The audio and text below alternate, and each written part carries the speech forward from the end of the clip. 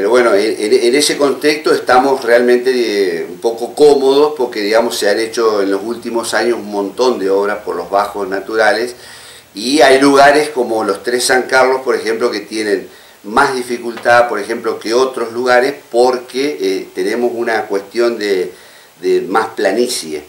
Eh, si nos vamos, por decirte, a un sector de San Agustín, este, por ejemplo, hay zonas de muchas pendientes y hay mucho escurrimiento superficial. Si nos vamos a la zona de Matilde, hay una parte que tiene mucho escurrimiento superficial y hay una parte que es súper plana, donde hay cualquier cantidad de problemas, donde la semana pasada le presentamos una nota a la, comuna, eh, porque de ahí, de ese sector de Matilde, tenés más de 27 productores y serán unos 78 si sumamos todo lo que es San Carlos Sur, este, digamos que están requiriendo esta obra del, que está denominada Bajo Natural Bragado, que fue aprobada por resolución 068-21, y es una obra de mínima, no, no, no, no, supera la excavación de un metro de profundidad, es una obra que va a traer este, un importante alivio a, a toda esa subcuenca, y digamos hoy con los costos que manejan los productores en lo que es siembra, fertilizante y demás, este, hay muchos encharcamientos, muchas cuestiones y como ser este año pasado que han, tenido que resembrar una importante cantidad de hectáreas este, y bueno, lo que se trata es de guiar o ordenar el agua por el lugar correcto. Antiguamente era mucho más fácil usar este camino, no molesta a nadie, qué sé yo qué, pero este, otra cuestión que hicimos el año pasado también fue preparar un, un trabajo que lo hicimos junto con la gente de vialidad y demás, donde de acuerdo al código rural y a la normativa de vialidad, hoy los caminos rurales tienen que tener 20 metros y la mayoría no los tienen, entonces se dificulta mucho el traslado, las maquinarias son enormes. Esto no quiere decir que mañana todos van a salir a correr los alambres, digamos, pero la mayoría de la gente ya está haciendo las mensuras nuevas de los campos que le pasan a los hijos o hacen el usufructo y demás.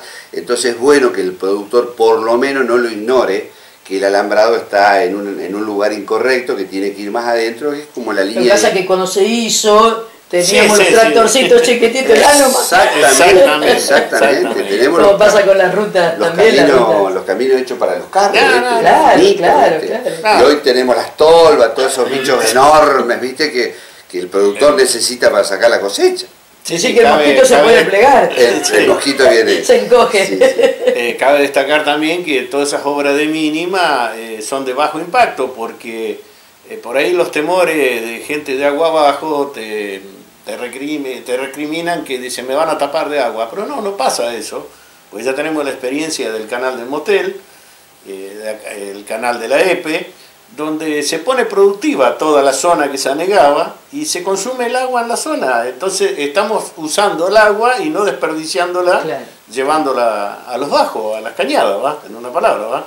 terminaría en el, en el Paraná, definitivamente. Sí, sí, sale a Río Coronde y después Entonces ahí por experiencias, con eh, yo porque trabajo sobre el canal del, del motel, eh, se trabaja mucho más fácil, eh, se reniega menos con los pisos, eh, estuvimos trillando la semana hasta el domingo a la par del canal. Es más, me quedé empantanado arriba en vez de, en la laguna.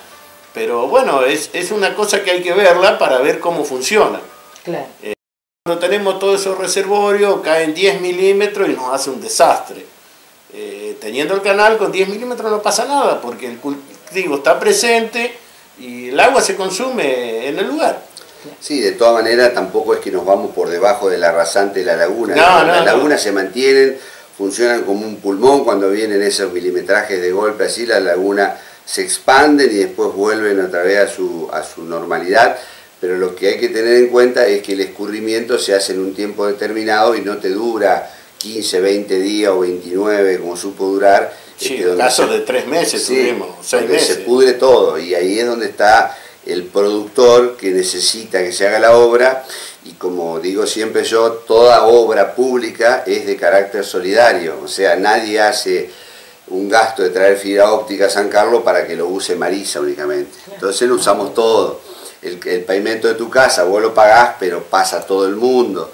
Eh, la, la EPE nos pasa lo mismo, hacemos la bajada, bueno, eh, esto los de los canales es lo mismo, las obras son solidarias, o sea, si bien pasa por el campo de Juan o de Pedro, pero digamos, es para el bien de toda la comunidad, inclusive trabaja y, hace un efecto magnífico sobre los caminos rurales, que la mayoría de los caminos quedan cortados, encharcados, con huellas, más ni te digo en la zona donde hay tambos y demás.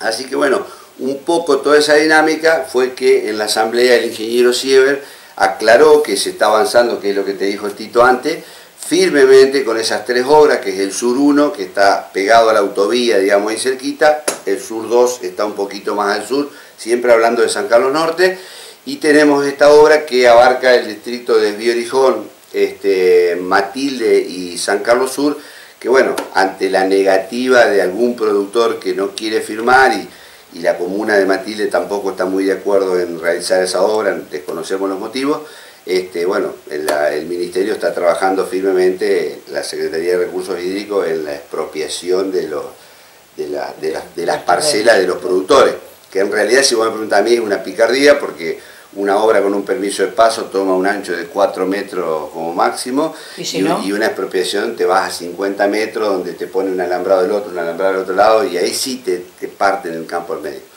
Y por experiencia propia que tenemos nosotros, todas estas obras que hicimos desde el 2015 a la fecha, que ya van nueve años, este, la verdad que no encontramos en toda la zona un solo productor que esté desconforme con el funcionamiento de esa obra.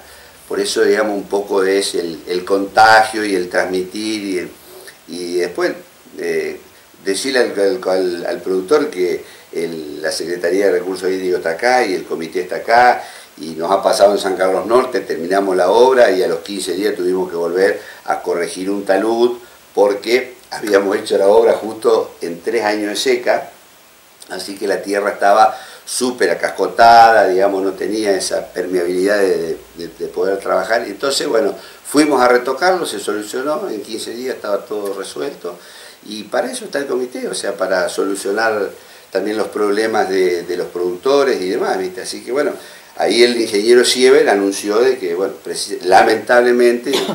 Van a ver la otra posibilidad. La, otra, parte administrativa y jurídica, digamos, de que van a empezar con las expropiaciones. En el caso de San Carlos Norte, por ejemplo, toda esa zona de anegamiento, cuando rebalsa se viene al pueblo. Entonces va a ser un alivio para el pueblo que no eh, absorba toda esa agua de, esa zona. Y se iría por la parte natural. Exactamente.